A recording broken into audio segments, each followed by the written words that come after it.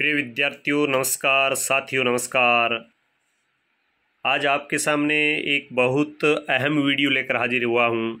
जैसा कि हम सभी की आशाएँ थी, हमें इंतज़ार था कि कोविड नाइन्टीन के कारण जो समय बर्बाद हुआ है, जो कक्षाएँ बर्बाद हुई है, उसके कारण पाठ्यक्रम में कटौती होगी या नहीं होगी तो उसका एक तरीके से निराकरण माध्यमिक शिक्षा बोर्ड ने कर दिया है और पाठ्यक्रम को तीस प्रतिशत तक कम कर दिया है। तो आज हम इस वीडियो में देखेंगे कक्षा बारह हिंदी अनिवार्य का कम किया गया पाठ्यक्रम और कौन सा पाठ्यक्रम रखा गया है। तो आप यहाँ पे देख रहे हैं माध्यमिक शिक्षा बोर्ड राजस्थान अजमेर और यह बिल्कुल प्रमाणिक खबर है और माध्यमिक शिक्षा बोर्ड की साइट पर पाठ्यक्रम को उपलब्ध करवा दिया गया है। जिसका शीर्षक दिया गया है परीक्षा 2022 के लिए संक्षिप्तीकृत पाठ्यक्रम कक्षा बारह। तो यहाँ पर कक्षा बारह का पाठ्यक्रम हम हिंदी अनिवार्य का इस वीडियो में देखेंगे और एक एक करके सभी विषय के जो पाठ्यक्रम के वीडियो है, वो आपको इस चैनल के ऊपर मिलेंगे। तो सबसे पहले महत्वपूर्ण निर्देश। तो यहाँ सामान्य निर्देश है कुछ। निर्देश नंबर एक कोविड नाइन्टीन परिप्रेक्ष्य में लंबे समय तक विद्यालय नहीं खुले और विधिवत शिक्षण बाधित हुआ। अतः 2022 के लिए विभागीय निर्देशानुसार पाठ्यक्रम में 30 प्रतिशत की कटौती की गई है। पूर्ण पाठ्यक्रम बोर्ड की वेबसाइट पर पूर्व में अपलोड कर दिया गया था। अतः यहाँ केवल पाठ्यक्रम में सम्मिलित अध्याय, इकाई के नाम और अंक भार का उल्लेख किया गया है। पाठ्यक्रम से हटाए गए अध्यायों का विवरण अलग से दिया गया है। साथ ही प्रायोगिक परीक्षा के लिए भी कुछ निर्देश है कि प्रायोगिक परीक्षा वाले विषयों में विद्यालय में उपलब्ध संसाधनों को ध्यान में रखते हुए संस्था प्रदान या परीक्षक तीस प्रतिशत पाठ्यक्रम में कटौती अपने स्तर पर करेंगे।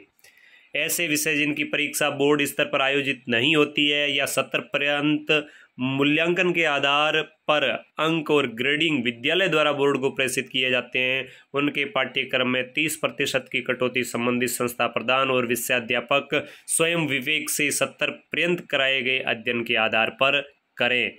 इसके बाद पॉइंट नंबर पाँच का है कि पाठ्यक्रम में सम्मिलित विषय वस्तु की अध्याय और इकाई वार विस्तृत जानकारी के लिए पूर्व में अपलोड किए गए पाठ्यक्रम का अवलोकन करें। निर्देश नंबर छः बोर्ड परीक्षा के प्रश्न पत्रों में पाठ्यक्रम में दिए गए इकाई वार अंकवार एवं अंकवार के अंकवार में 25 प्रतिशत का विचलन या परिवर्तन संभव है। कुल यदि प्रश्न पत्र आपके 80 का होता है तो उसमें से 25 प्रतिशत है, वो कम किया जा सकता है, स्कूल स्तर से नंबर मांगे जा सकते हैं।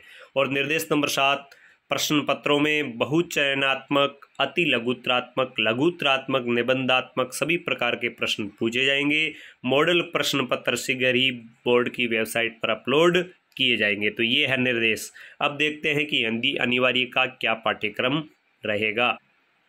तो देखिए, यहाँ पे आप देख रहे हैं माध्यमिक शिक्षा बोर्ड राजस्थान, परीक्षा 2022 के लिए संक्षिप्तीकृत पाठ्यक्रम, हिंदी अनिवार्य कक्षा बारह, जिसका विषय कोड है एक।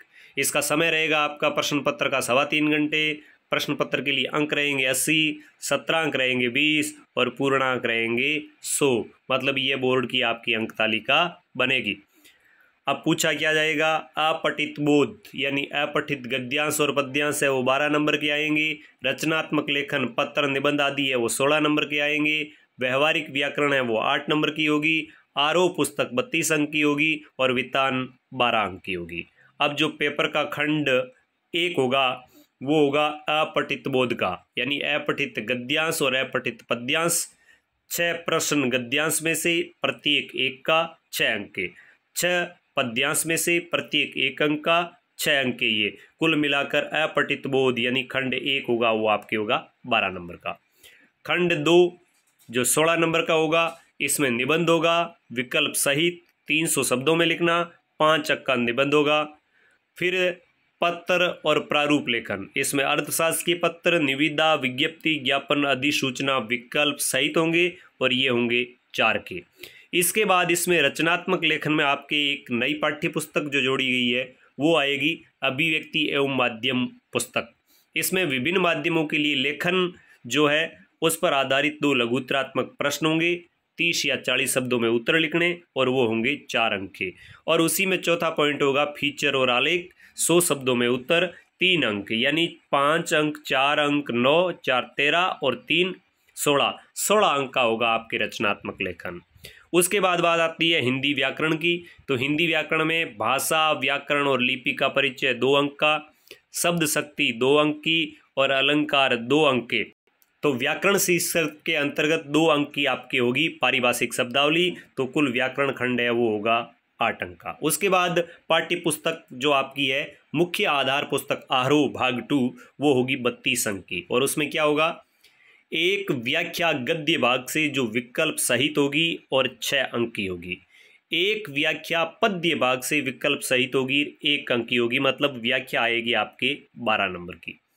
दो निबंधात्मक प्रश्न, एक गद्य भाग से एक पद्य भाग से इनमें भी विकल्प होंगे। सौ शब्दों में उत्तर देना होगा। प्रत्येक प्रश्न पाँच अंक का मतलब दो प्रश्न है, वो दस अंक के। एक लघुत्रात्मक प्रश्न पद्य भाग से होगा। तीस से चालीस शब्दों में उत्तर दो अंक का होगा।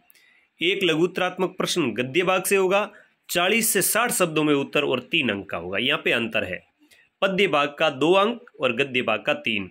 किसी कवि या लेखक का परिचय, अस्सी से सौ शब्दों में उत्तर और ये एक प्रश्न होगा अंक होंगे आपके पाँच। उसी प्रकार बात करें खंड चार की। पाठ्य पुस्तक वितान। तो वितान में एक निबंधात्मक प्रश्न होगा विकल्प सहित 120 शब्दों में उत्तर और ये प्रश्न होगा छः अंक का। छः अति लघुत्रात्मक प्रश्न होंगे। बीस शब्दों में उत्तर और ये भी एक एक अंक के मतलब छः अंक के तो वितान आपकी पाठ्य पुस्तक होगी, वो होगी बारह अंक की। अब कक्षा बारह में हिंदी अनिवार्य, कुल पूर्णांक अस्सी, संक्षिप्तीकृत जो पाठ्यक्रम है, वो क्या है? तो अपठित बोध है, वो यथावत रहेगा, कुछ भी नहीं हटाया है। रचनात्मक लेखन है, वो यथावत रहेगा, कुछ भी नहीं हटाया है। अभिव्यक्ति एवं माध्यम पाठ्यपुस्तक पर आधारित कुछ भी नहीं हटाया है और व्यावहारिक व्याकरण में से कुछ भी नहीं हटाया है। तो इनमें से ये हटाए नहीं है। अब पुस्तकों में क्या रखा है, क्या हटाया है? तो देखिए, ये पाठ्य पुस्तक आपकी है आरोह और आरोह पाठ्य पुस्तक की बात करें तो इसमें कौन से पाठ्यक्रम पाठ है वो रखे हैं? पाठ्य पुस्तक आरोह भाग दो, पद्य भाग में सम्मिलित अध्याय, ये रखे हैं। हरिवंश राय बच्चन की कविता दोनों रखी है, आत्मपरिचय और आत्म परिचय और दूसरी जो कविता आपके पाठ्यक्रम में है, निशा निमंत्रण का गीत, आलोक धनवा की कविता पतंग रखी है, कुंवर नारायण का पूरा पाठ है, रघुवीर साय का है, गजानन माधव मुक्तिबोध का है, शमशेर बहादुर का है और फिराक गोरखपुरी का। मतलब एक से लगाकर छः तक। कुल मिला के सातवां, आठवां अध्याय है, वो इसमें से हटाए गए हैं। गद्य भाग की बात करें तो ग्यारहवां, महादेवी वर्मा का पाठ जनेन्द्र कुमार का बारहवां तेरहवा धर्मवीर भारती, चौदवा फणीसर रेणु सोलवा सज्जा रजिया सजा जहीर और सत्रवा हजारी प्रसाद द्विवेदी। ये पाठ रखे हैं। और पाठ्य पुस्तक की बात करें वितान की तो वितान में सिल्वर वेडिंग और जूझ यहाँ पे आप ये देखें, ये जूझ है तो ये दोनों पाठ है, वो संपूर्ण रूप से रखे गए हैं। अब आगे के प्रश्न में अपन देखते हैं कि और क्या रखा है और कौन से हटाए हैं। अब यहाँ आप देखिए, परीक्षा 2022 के लिए विलोपित किए गए अध्याय इकाई का विवरण, कुल पूर्णांक अस्सी, अनिवार्य हिंदी बारह, कक्षा बारह। क्या हटाए हैं? तो पाठ्य पुस्तक आरोह में सूर्यकांत त्रिपाठी निराला का पूरा पाठ हटा दिया गया है। सूर्यकांत त्रिपाठी निराला तुलसीदास का पूरा पाठ हटा दिया गया है और उमा शंकर जोशी का पूरा पाठ हटा दिया गया है। पाठ संख्या सात, आठ और दस ये हटा दिए बात करें गद्य बाकी तो इसमें पंद्रवा पाठ, विष्णु खरे यह संपूर्ण पाठ हटा दिया है। अठारवा बाबा साहेब भीमराव अंबेडकर यह संपूर्ण पाठ हटा दिया गया है। बात करें पाठ्य पुस्तक वितान की तो अतीत के दबे पाँव पूरा पाठ हटा दिया गया है और चौथा पार्ट डायरी के पन्ने इसको भी पूरा हटा दिया गया है। कुल मिला के तीन गद्य भाग के और दो पद्य भाग के आरोप पुस्तक में से आपके पाँच पार्ट हटाए हैं, जबकि वितान पाठ्य पुस्तक में से आपके दो पार्ट हटाए हैं। इन सात पाठ के अलावा हिंदी अनिवार्य में कुछ भी नहीं हटाया है। ये आप पूरी तरीके से कन्फर्म कर लें और इसको देखने के बाद, इसको समझने के बाद अपनी बोर्ड परीक्षा की तैयारी करें। तो ये था पाठ्यक्रम का विश्लेषण। आगे की वीडियो में हिंदी साहित्य का पाठ्यक्रम है, राजनीति विज्ञान का पाठ्यक्रम है या इतिहास का पाठ्यक्रम है, उसके बारे में आपको बताया जाएगा।